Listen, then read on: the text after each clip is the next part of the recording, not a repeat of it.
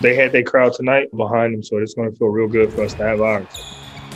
It's been more than two years since the Boston Celtics played a home playoff game in front of fans at TD Garden, and the Celtics are anxious for that streak to come to an end Friday night.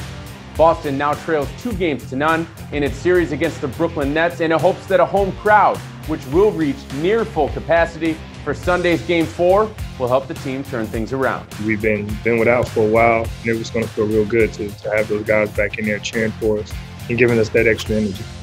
I mean, we've been in a lot of series here over the last few years. We've been down 2-0, we've been up 2-0, and um, several times the script has flipped. There's no question that we'll look forward to playing in TD Garden, and we'll look forward to playing with more fans in TD Garden.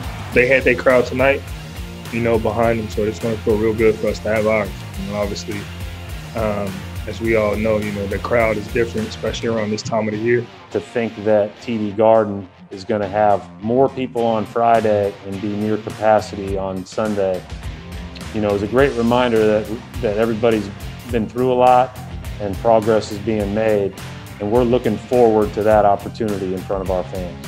A quick health update on Jayson Tatum. His right eye was scratched early in the third quarter by Kevin Durant, and he did not return to the game after that play. Brad Stevens said after the game that in the locker room, Tatum's eye looked red and swollen, and that before Tatum went to the locker room, he was actually sensitive to light out around the court. Team's going to have to wait and see how that right eye heals up in the coming days. Keep it locked here on all of our Celtics channels for the latest on Tatum and the Celtics. And in the meantime, I'm Marc D'Amico for Celtics.com.